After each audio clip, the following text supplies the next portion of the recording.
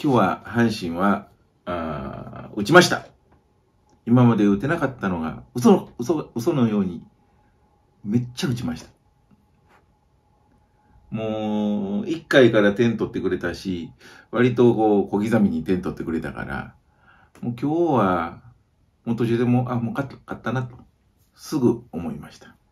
まあ、こんなに、あのーっていうの心配せずに見れたのは久しぶりです。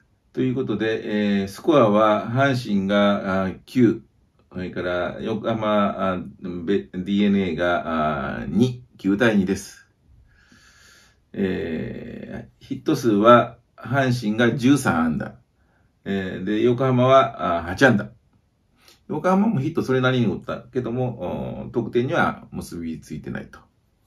逆に阪神は13安打で9点も取ったということで、えーまあちょっと振り返ってみましょう。今日の先発は、阪神はエース、青柳。えー今シーズン3勝1敗。防御率がなんと0.76。また規定投球回数には達してないんで、えー防御率の順位には出てこないけども、まあ、あの、出てくると思います、そのうち。DNA は、えー、上茶谷大河。すごい名前やね、これ。25歳。珍しい名前やな、これ。うん。上茶谷っていうのもなかなかないしな。どこの人やね京都府。ん。あれ。京都学園高校から東洋大学。うん。えー2018年のドラフト1位。で、えー今年は2022年はあ2勝2敗で防御率2.04やから戦力になっているよね。ええやん。で、2勝2敗っていうのは、あ2敗っていうのはちょっとわからないけども、もうちょっと勝っててもいいよね。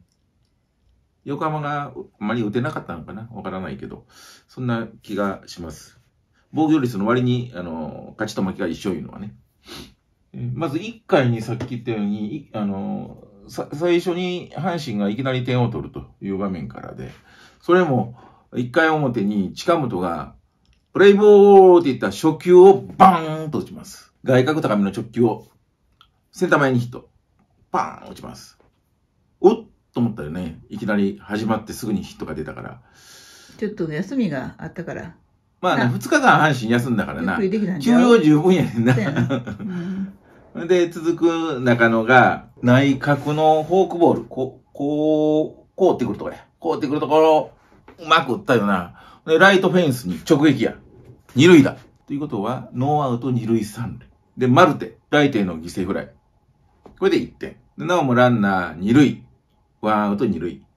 で、佐藤輝。内角高めの直球。この辺の直球や。いつも、いつも苦しいとこや。ここ。腕を、腕伸ばしてたら打たれへんから、腕をこう畳んで、こうやってうまく打った。畳んで、しかも回転も早く、スイングも早く、パーンっていったから、負けずに飛んでいった。で、えー、ライト線へのタイムリー二塁打。これでさらに1点追加。2対0。ということで、まず1回の表には2点を阪神が入れます。で、もう、青柳で2点入ったら、防御率0.76っていうことは、まあ勝てるわな、普通にいけば。という形になったんやけども、今日の青柳は、球は切れてたけど、あの、まっすぐも速かったし、変化球もそれなりに切れてたけども、コントロールがいまいちやった。特によく使ってるツーシームっていう球が、だいたいこう、こう、ストライクゾーンがあるやんか。真ん中ら辺に、真ん中ら辺に行くね、このツーシームが。それを打たれたね。それが1回に出て、えー、先頭の横浜の桑原がレフト前ヒット。で、次の2番バッターが送りバントして、ワンアウト2塁。で、3番バッターはアウトに取ったんやけども、えー、4番の牧に、その、ツーシームが真ん中に乗ったところをレフト前に打たれて、で、1点。これで、えー、2対1。で、その次に点を入れるのはまた阪神。3回表。まだ、あ近本からの打順。今日は近本中野がすごかった。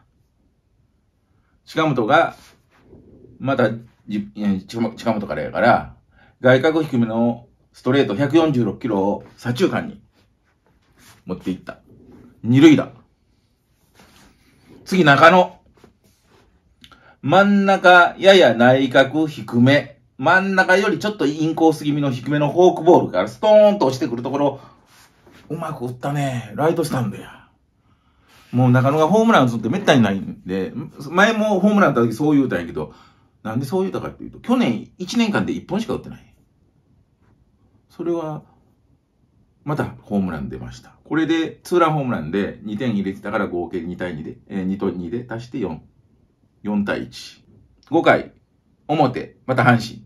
またここで、あの、近本から、トップバッター近本。近本はアウトになりました。続く中野。センター前ヒット。中野は今のところ全部ヒット打ってます。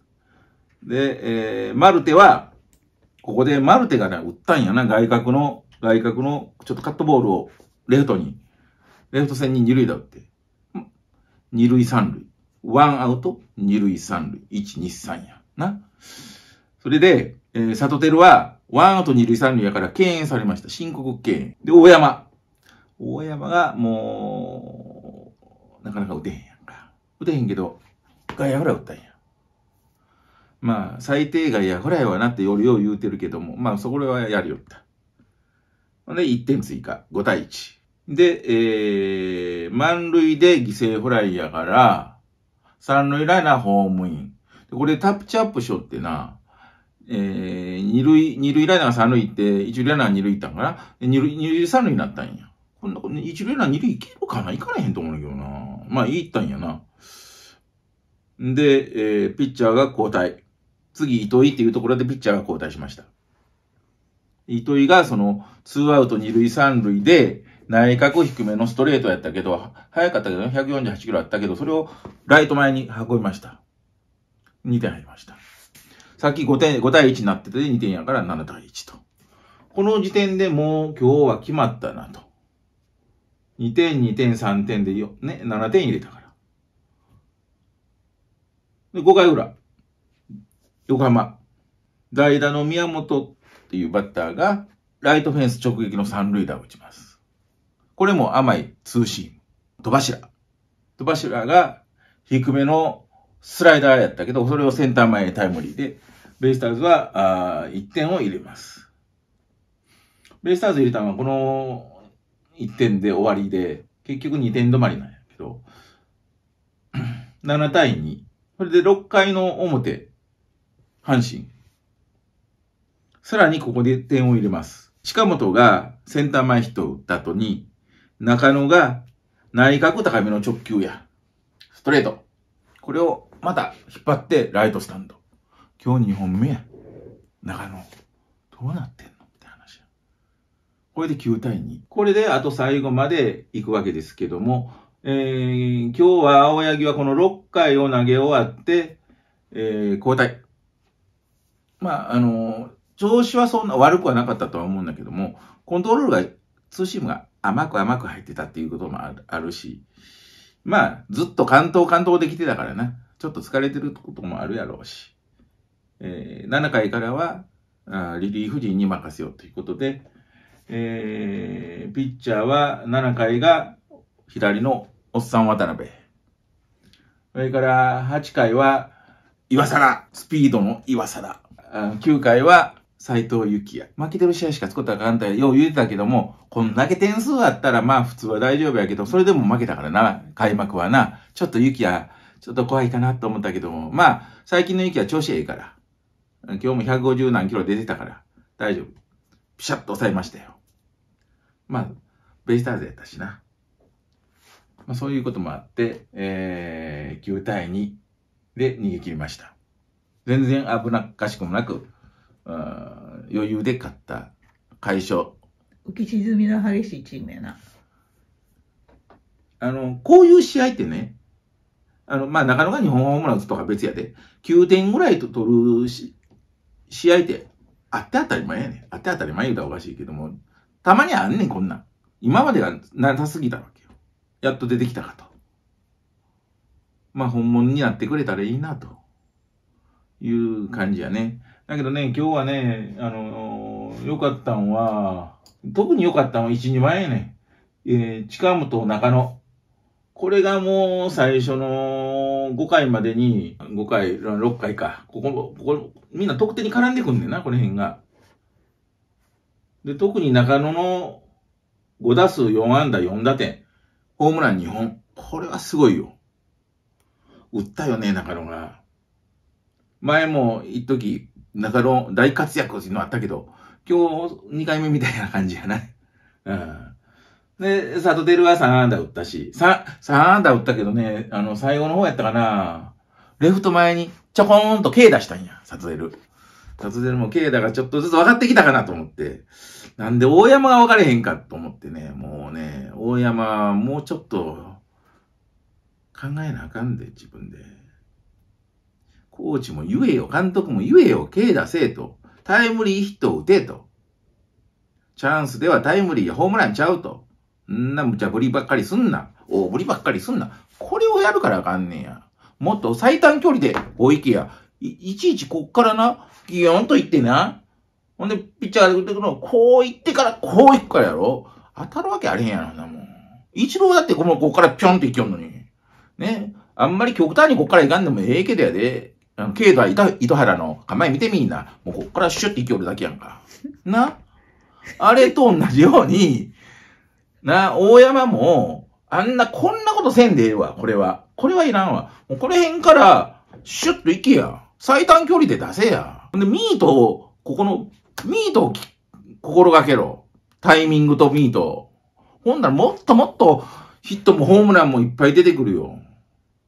な、言うたりいらん力をな、こう発散してな、ほんで、スカタンばかり当たっててやで。あっち行ったりこっち行ったりしてやで。何やねん、それ。コーチが言わんのかね。だから言えやって話や。言、言わなあかんし、周り見てて、大山も自分で気ぃつけよ。なあ。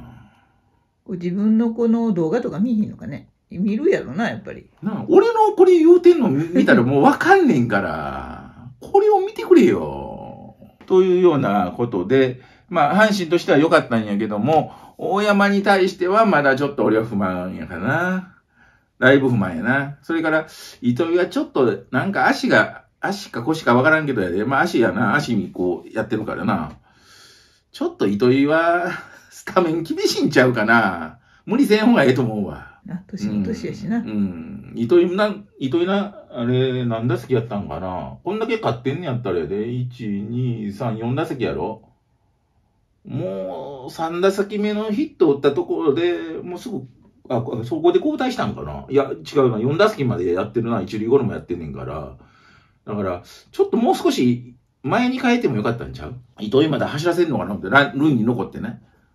で、最後は変えたんやけど、もう一つ、二つ前でもよかったんちゃうかな、糸井は。あの状態やったら。あんまり無理させたら余計痛めて赤くなるから。そんなとこかな、今日は。全体的には良かった。あのリリーフ陣が全部抑えたしな。で、うん。で、まあ、青柳もコントロールがちょっと甘かったものの、まあ、それなりにピッチングしたし、球もそれなりに来てたし。ただ、ツーシームがコントロールちょっと甘かったんだけが気になった。そんなとこかな。うん。今日は、あの、いい勝ち方をしたと思います。明日も頑張ってください。あ、それから、今日の良かった人。もう、先ほど言いましたようにね、今日のヒーローは中野選手。えー、5打数、5打数4安打、4打点、2ホームラン、2ホーマー。ということで、今日は中野選手にヒーロー、今日のヒーローは中野選手とします。拍手。